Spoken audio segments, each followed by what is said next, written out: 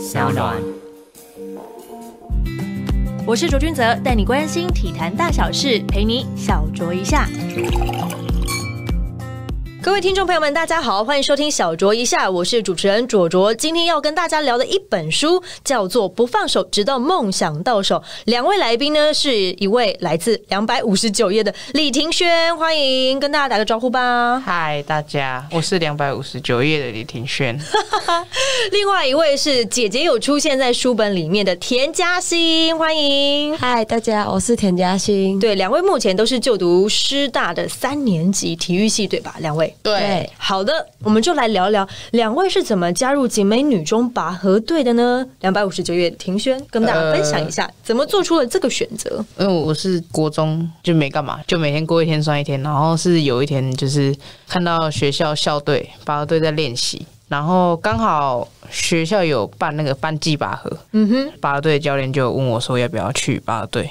所以他是在那个比赛里面相中你的天分吗？好像应该是啊，应该是这样，应该是是应该是这样子讲啊。哦，我也不知道，我也没有问过他，然后我就去去大巴河，然后。就上集美，因为自己学业也不太好，然后就想说 继续走拔河好了。所以那个时候算是被选才选上了就是了。嗯，对。哦，非自愿性的啦。当然不是，就觉得嗯，好像练练看也是 OK 的嘛。对。哦，那嘉欣你呢？你当初是怎么加入集美女中拔河队的？我就是我姐姐，我记得六年级的时候，然后就是有少人，然后就请我回去帮忙拉一拉。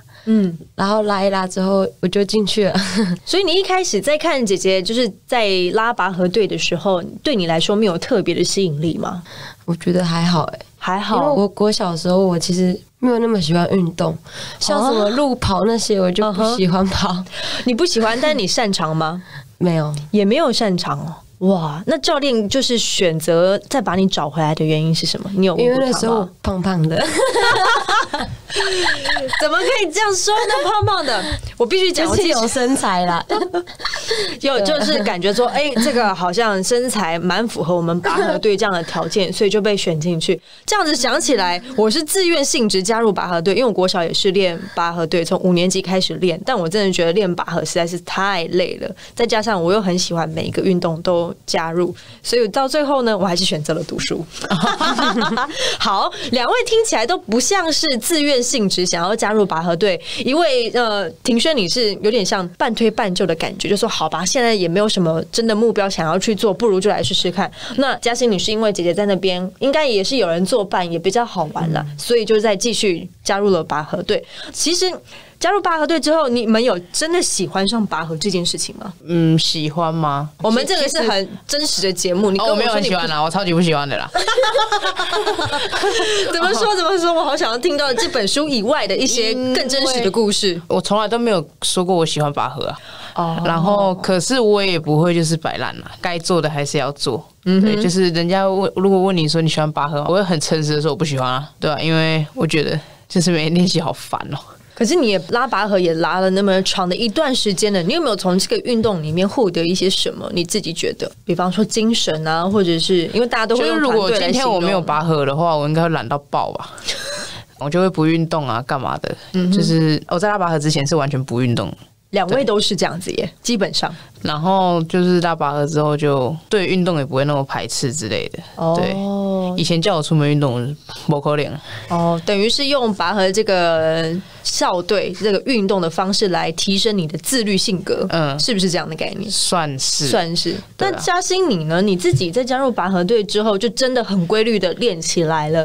你有比较喜欢这件事情吗？我觉得我国小国中算是很喜欢，很喜欢。对，可是我觉得上高中大。是因为课表那些都加重啊，然后练时间也变很长，然后就会有点烦，就是每天接触的时间太长了。那你们一那一个时候练最长的时间大概是多长？每一天大概几个小时？假日的话，从早上八点，嗯，就是早上练到十二点，嗯左右，然后下午就是两点练到五六点这样子。啊，我觉得你们好像在上班呐，连假日都要见到彼此，学校都还见不够，真的是，大家都会用团结来形容，就是拔河的运动精神。你们自己怎么看待这个运动呢？我觉得我们拔河队去就像很像一个家吧。嗯我跟他之前高三是同学，然后我们在宿舍也同一个寝室，嗯，然后又同一个练习时间，然后上课就是上课都一样，所以我们根本就二十小时在一起根。本就是家人呢、对，然后我就觉得在拔河队里面跟其他的朋友比起来，我觉得跟他们联络，就之后毕业联络一定更频繁、啊，对更频繁，就是比起其他的。比较起来的话，你们的感情会一直联系都会在就对了。对，对，但我觉得这会有两个状况，一个就是很喜欢跟他们在一起，因为他们像家；另外一个是很烦，因为每天都要见面，对不对？会有这两种情绪，对对不对？那庭轩你自己呢？怎么看待拔河这个运动？就是以就像他说，我们每天我一张开眼睛看到就是他，真的，因为他是隔壁床嘛？没 有，他睡我对面，我只要侧躺一张开眼睛，他就是在我旁边，然后就陈超干嘛，反正都是看跟他看，然后跟他看，不是跟他看，就是看，就看。得看得到他。对，然后都腻在一起，然后说团结，可能也是就是除了拔河以外的事情，像写作业那一些的，都是一起做，所以。也有可能是因为日常生活这样子生活在一起，我们会变得比较了解彼此，然后再加上练习也是一起默契也会比对较好。所以这样想要不团结都没都办法，很难，因为你们太了解很了解对了。方，就连个性也是对不对？只要一个眼神都知道他生气就他在想什么，对。一个眼神就知道，哎，你不觉得这个这个这个事情怎样怎样，他他都会知道。可是拔河不就是要这样吗？就是因为你们八个人嘛，所以你们一定默契要很好，甚至你们根本不需要去看后面的人在想些什么，或是做些什么，从他拔的力道就大概知道他今天状况好不好，或有没有那么敏感到这样子？有有有。从看他的动作就知道他今天他今天想不想练。对，哦，想不想练这么明显？或是他今天的状况好不好，对，就很明显。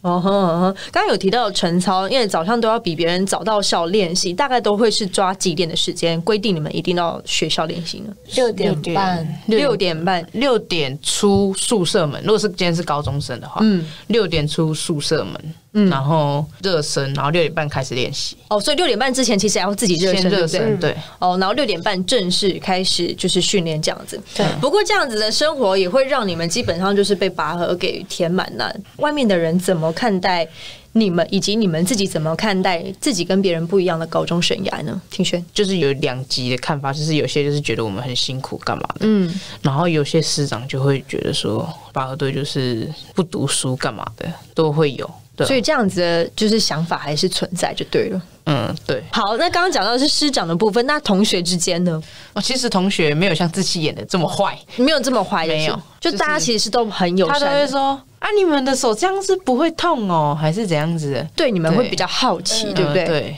那你会探出来说甩吧，这样子给他们看。哦我我的手还好，是他他的。哦你的你的待会可以拍一下，让我们哇，很厚的茧呢、怎么很丑？你们因为我没有了。哎你怎么会差这么我是拉多最后一只，啊，因为你是绑在身上的嘛，对对对，我手就没有那个像他们一样那么严重。哦，这样子。那嘉欣你呢？你自己觉得，刚刚那是庭轩的想法，你不要被他影响。我还是想要听听你的想法，就是在在学校里面，大家去怎么样看待你们，以及你们怎么去看待自己，呃，高中时候跟别人不一样的生活。其实每次我们都觉得一翻身好好可以回家，可以下课了，可以去买咸酥鸡吃了。对然后家长来接送或是干嘛的，然后就会觉得嗯好想要这样哦，好想要跟他们一起，就是结束了这一天的东西那时候就是高中时候会这样想，就是你自己会觉得说，在那个时候看到别人已经可以下课了，对然后可是自己还好像还是要继续上课那种感觉，对不对？就是哦，呃，要练习了哎，要练习，因为高中高一的时候会就是还没有适应的时候，就是说，嗯，我不想练习，还是干嘛的，就是会互相讲来讲去。可是，就会小小小对对对抱怨一下这样子。可是我觉得我们班的同学对我们算不错，就像一个跟我们高三一个同学，他会帮我们两个买早餐，超好的。好感人哦！对，会帮我买早餐，然后我们都跟他上大学还会联络，然后他也是师大的学生，所以就是我觉得他们对我们其实都还不错。这是一种革命情感呢。我那时候练习，没有人会帮我买早餐的，有够累的，然后吃完了还会吐出来，因为要跑校园跑十圈，谁到底能够练得来？好，刚刚说到吃这件事情，嗯，书中刚刚就是提到两百五十九元的庭轩，有一个牺牲是必须要快速减重，和你喜欢吃的个性啊大不相同，可以跟大家分享一下那个时候的状况吗？哦，我只要减重，我心情就会不好。我练我练习的时候脸就会超臭的，然后大家就会知道我在减重，然后就不要来跟我讲话，这样，因为我嘴巴蛮毒的。哦，就像他，他我之前在减重，然后他跟我同班，他是可以吃的。然后我中午，因为中午会有那个，就是会有会有午餐，午餐同一样的午餐那样，对对对。嗯然后他就不吃，他明明就可以吃，然后我就过去走过去，我就说。啊，你是怎样都不吃啊？你可以吃的就不吃，你是不懂得珍惜是不是啊？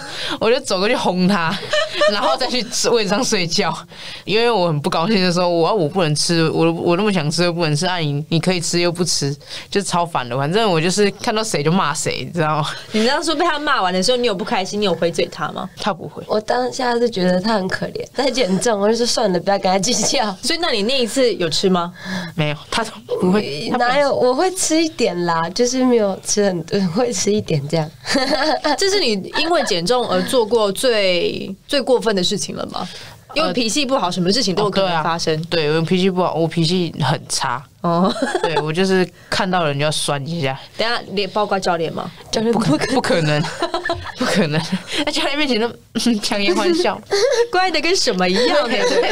对。那教练知道，其实你对于限制你吃跟快速减重，因为我刚刚在书里面看到的，其实是半年减掉了二十公斤、哎，有这么多吗？有有二十公斤，那那半年就慢慢减了。等下半年不是慢慢，半年只有六个月，二十公斤也不是这么容易的事情了。因为我们、其实我有两个礼拜减过七公斤，所以就是对我们来说，啊，因为是还是孩子的时候，就是代谢其实也比较快一点。到后面就他觉得他都觉得他喝水都会胖，所以他连喝水都不喝了吗？就是有时候啦，就是在快过磅的时候，哦，他就会自己生气，他就很生气，很生气，我很渴，我连喝水都会胖，好烦哦。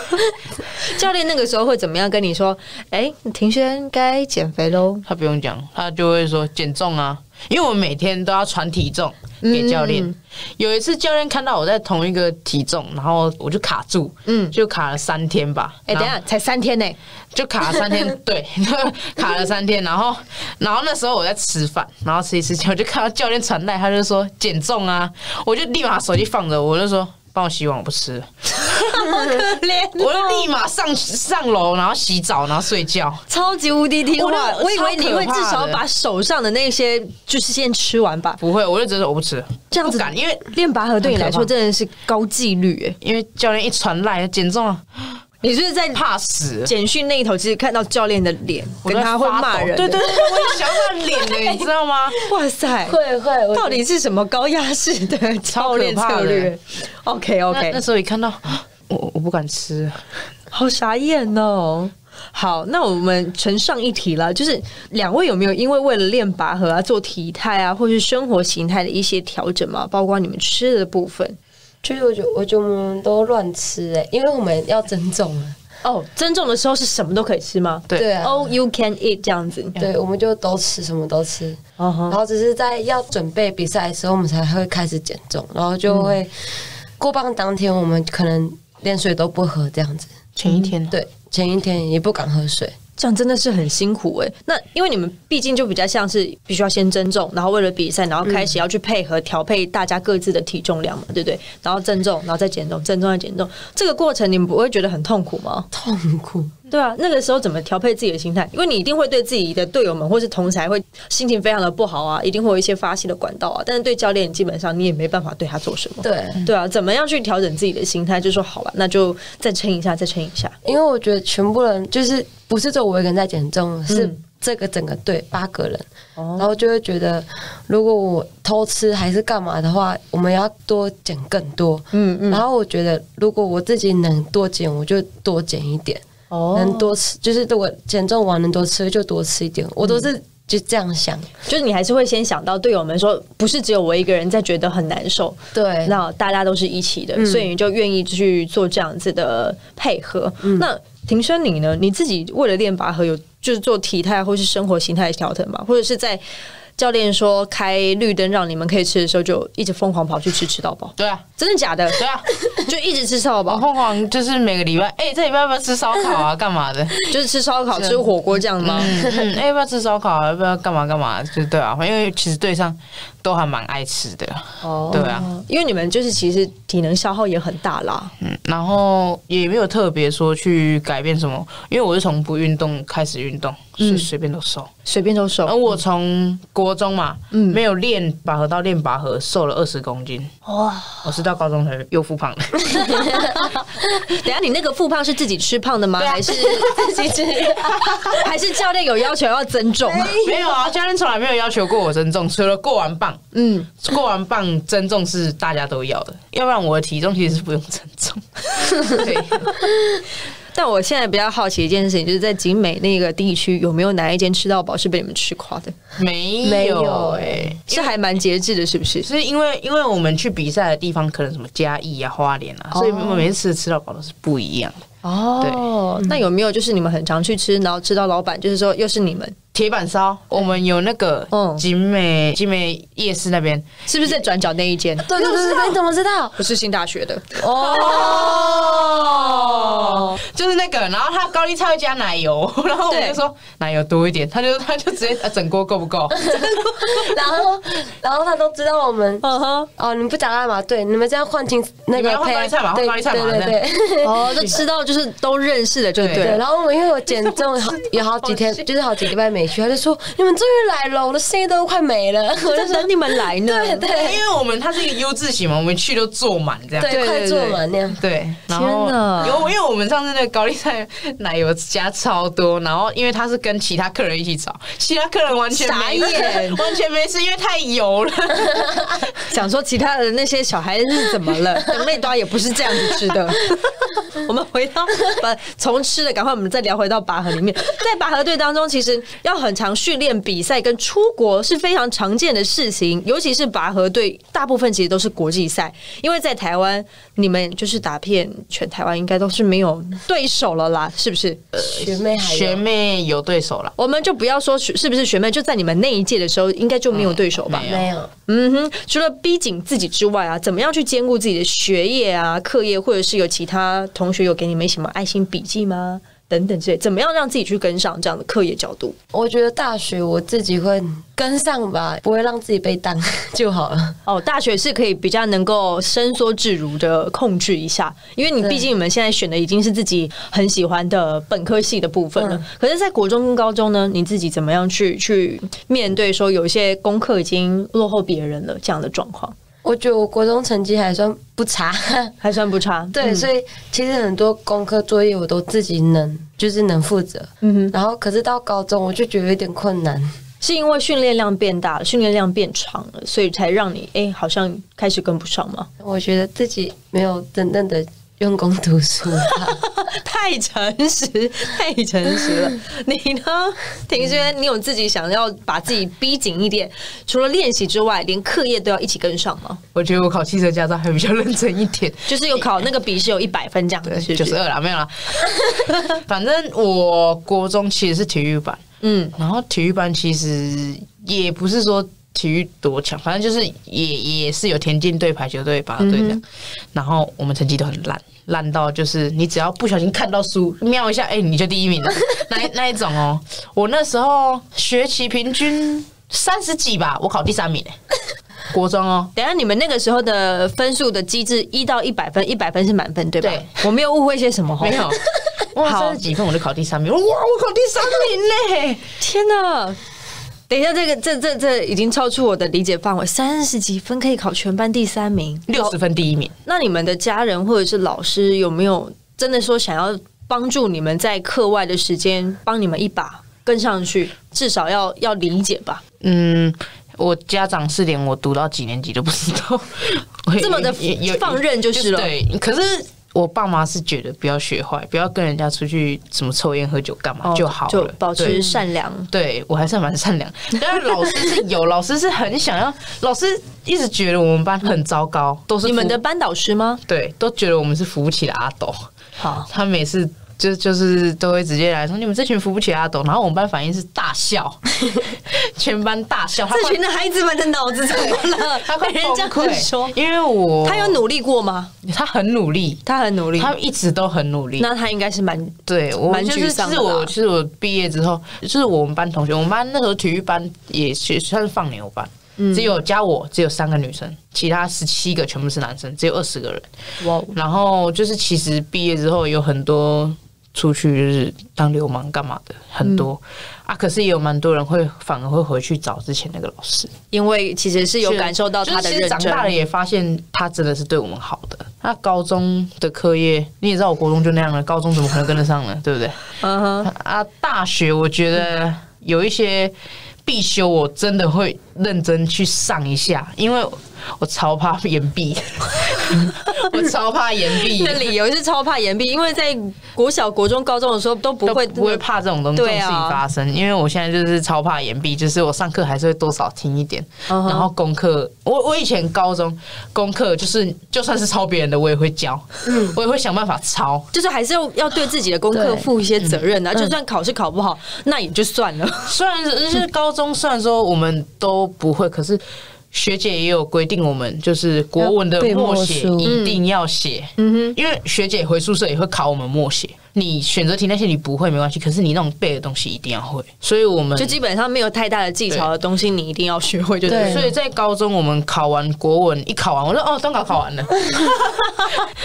然后就就学姐对你们的要求就是国文一定要至少要学好要写。要写要写你会写的东西不用动脑的东西，你就是要会。嗯哼，啊，如果你其他东西不会就没关系。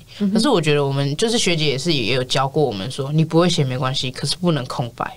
就是让我英文、国文那些不会写，我就抄题目，就是让考卷看起来很满，绝对不能空格这样。我觉得这段访谈真的非常的真心，而且你刚刚其实有提到说，你们其实回想起来，那位老师对你们是真心为你们好的，就算他对你们讲。你们是一群扶不起来的阿斗，但这也是他在努力过后比较沮丧的时候说出来的话嘛。但我想问的是，今年你庭轩你参加了世界拔河锦标赛，中华队是获得了亮眼的成绩。从你加入景美女中拔河队到现在，已经十年了吧？加入景美女中的话，或是在你整个拔河的生涯当中，应该有十年了吧？国一、国二、国三，差不多快了。差不多。那你回想一下自己第一次出国比赛的时候的心境，到现在在比赛出国的时候有什么不同？呃，我第一次出国比赛，我在快要比赛的时候，我在哭哎、哦因为我紧张到哭。啊，你不是很期待说耶，我要搭飞机出国了？那个时候第一次比赛是去哪？嗯，北爱尔兰兰，对啊，然后我在比赛前呐、就是准备要出场，然后我在哭，对，然后太紧张我真的是太紧张了。然后现在的话，就是上去之前就是拜托表现好一点，我不想被骂，我不想被骂，我不想被骂。现在是先催眠自己说，我一定要表现的好，因为我不想被骂。对，好。对，因为我怕被骂，我玻璃心。你完全没有就是对于出国比赛这种兴奋跟期待感吗？呃，反正就是要把它做好，也没有，应该是使命感吧，也没有期待啊。没有哦，因为像正常人要出国，他就说：“哎、那我们这次要去哪里？哇，去北爱尔兰呢，好好兴奋哦！我不知道那里有什么好吃的啦，哦可以看是啊，我们都是我我们都是我们很奇怪啊。这次有出去玩的行程吗？没有，yes，比完赛就可以回来了。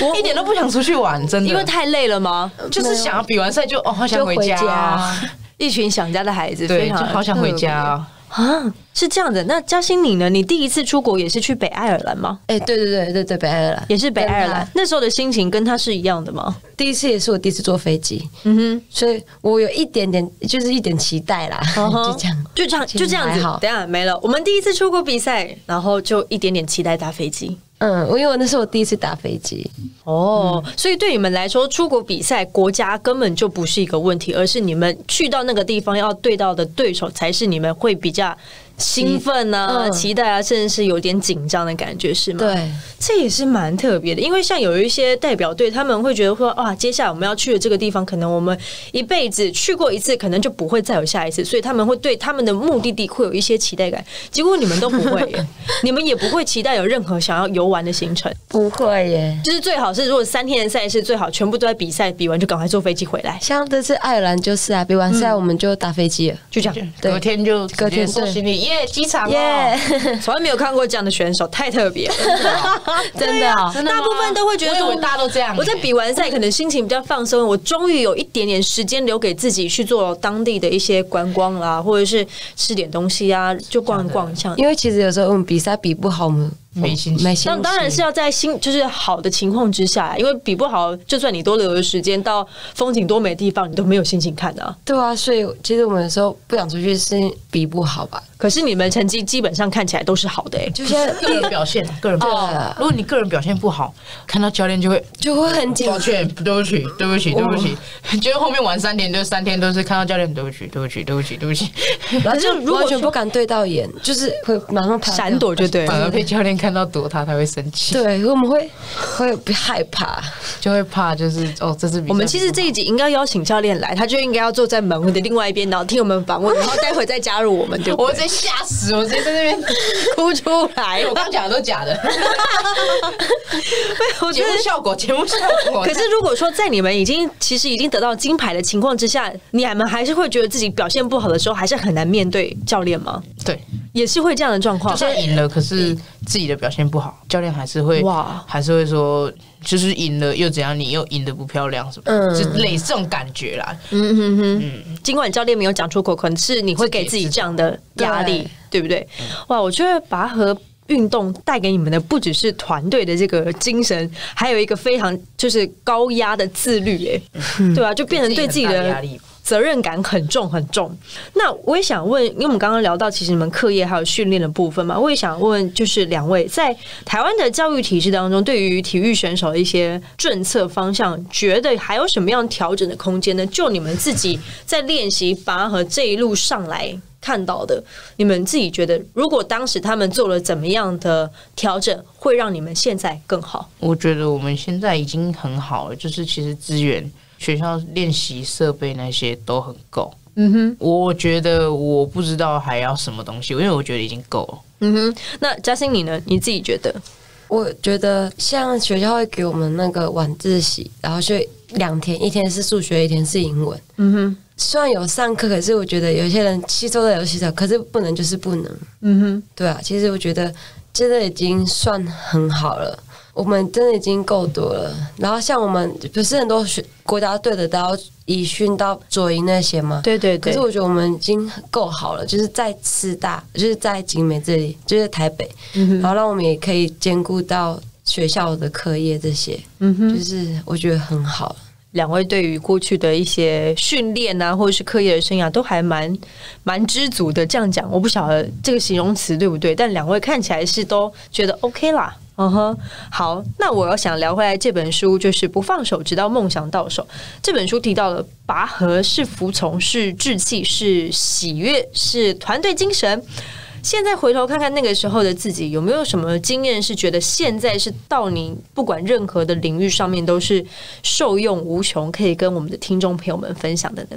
我觉得我们的想法会跟就是自己的拔河队以外的同才会不一样。嗯哼，我会常听到，就是有些人就是同才，就可能同学干嘛会抱怨老师怎么怎样怎样这样子的，我就觉得。还好啊，他是老师，你不能尊重他一点吗？这样，老师这样子根本就还好啊。嗯哼，然后他们就会，就是老师，就是如果对他们有什么地方让他们不高兴，他们会直接表现出来。就是我，这是我自己身边的人的经验，就是比如说他今天很不高兴哪个老师，他就对哪个老师讲话态度很差，我很想要冲过去给他扒了。就是尊师重道这一对他们就是有时候会因为自己的情绪，然后就忘记了这一块。嗯哼，可能是因为在拔河队，就是看到老师就是要有礼貌，然后老师不管说什么都要听，这样就是不要反抗老师的命令，这样。这是教练给你们的一个观念吗？对，教练说要尊师重道，有礼貌是第一个。嗯，对，不管老师让你们再怎么不高兴，你都要忍，嗯，就是不能这样子表现出来。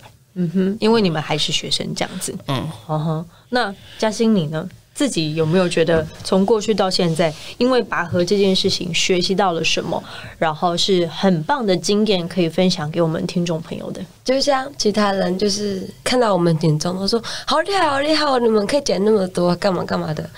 然后我就会跟他们讲我们怎么严重，怎么严重，他们就会觉得就退缩了吗？他们就说：“哦，你们这样也太辛苦、太累了吧？”嗯，然后一定复放的很快。我就说：“对啊，因为我们就是要吃的，要吃回去吃很快。”然后这些，两位在对拔河这件事情一开始看起来好像没有怎么样的爱好这件事，可是从书里面或者跟你们对谈当中，我觉得啦，从拔河可以看到一件事情，很坚持。